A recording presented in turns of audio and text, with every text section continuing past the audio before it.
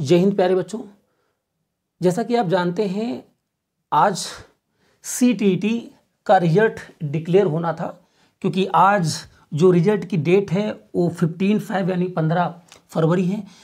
लेकिन अभी तक शाम हो रही है रिज़ल्ट अभी तक डिक्लेयर नहीं हुआ है।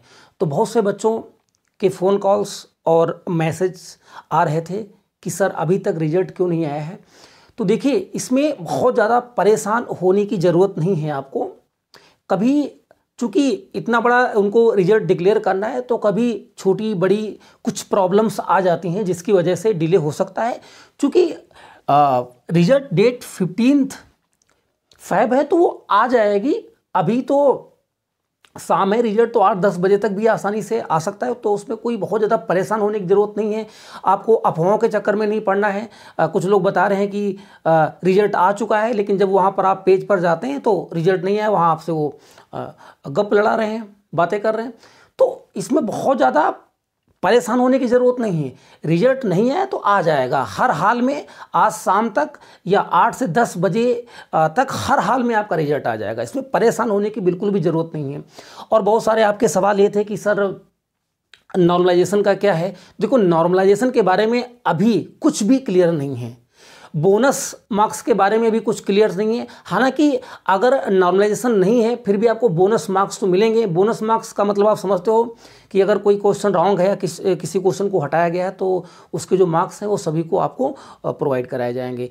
तो अभी भी इन अफवाहों के चक्कर में आप मत पड़िए और थोड़ा सा वेट कर लीजिए, ठीक है? थोड़ा सा वेट कर लीजिए और रिज़ल्ट मैं आपको बता रहा हूँ कि अगर डेट दी गई है फिफ्टींथ फैब यानी पंद्रह फरवरी तो हर हाल में पंद्रह फरवरी को रिज़ल्ट आपका डिक्लेयर हो जाएगा। और रिज़ल्ट जैसे ही आएगा तो मैं कोशिश करूँगा आपको बताने की हालाँकि आपको तो पता ही हो जाएगा।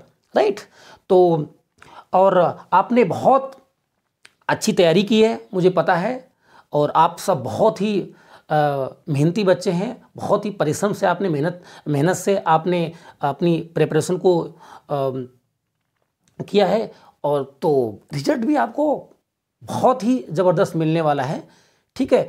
और अगर कहीं पर थोड़ी बहुत कमी होती है तो उन चीज़ों को हम पॉजिटिव वे में लेंगे और फिर उनसे जो हमारी कुछ गलतियाँ हुई हैं, ठीक है?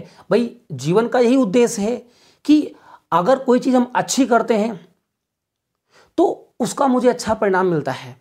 और अगर कहीं पर हम कुछ गलतियाँ करते हैं तो उसका परिणाम मुझे नेगेटिव मिलता है। तो नेगेटिव परिणाम से हम कुछ सीखेंगे और सीख के आगे बढ़ जाएँगे ताकि आगे हम उन समस्याओं का समाधान कर पाएँ और आगे दोबारा से वैसी हम गलतियाँ ना करें। तो बिल्कुल भी परेशान होने की ज़रूरत नहीं है। आपने बहुत मेहनत और लगन से पढ़ाई की है है ना? उसका परिणाम आज आपको मिलेगा और आने वाले समय में के की वैकेंसीज आने वाली हैं, ठीक है? उत्तर प्रदेश में अभी चुनाव का माहौल चल रहा है। अभी छः महीने के बाद यहाँ पर सुपर टेट आपको देखने को मिलेगा, हंड्रेड परसेंट देखने को मिलेगा आपको। तो इसीलिए सबसे ज़रूरी चीज़ क्या है? आपकी तैयारी। और आपकी अगर तैयारी है तो अगर वैकेंसीज कितनी भी हों, आपका सिलेक्शन होना पक्का है। तो बिल्कुल भी परेशान होने की ज़रूरत नहीं है। रिज़ल्ट आज शाम तक, हर हाल में 10 बजे तक आपका रिज़ल्ट आ जाएगा। और उसके बाद फिर आपको अपनी रणनीतियाँ बनानी है, अपने प्लान बनाने हैं कि कैसे आगे की हम तैयारी करें।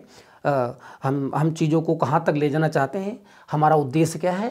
तो तो वो सारी चीज़ें जब रिज़ल्ट आएगा तो हम एक बार आपसे फिर मुलाकात करेंगे, ठीक है। वीडियो को देखने के लिए आपका बहुत बहुत धन्यवाद। मिलते हैं आपसे रिज़ल्ट के साथ में। तब तक के लिए बाय बाय टेक केयर जय हिंद, जय भारत।